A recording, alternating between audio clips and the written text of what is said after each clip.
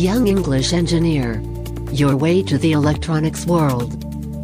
Like our Facebook page and learn more. Project provided by Tesla Institute. School of Electrical Engineering and Automation.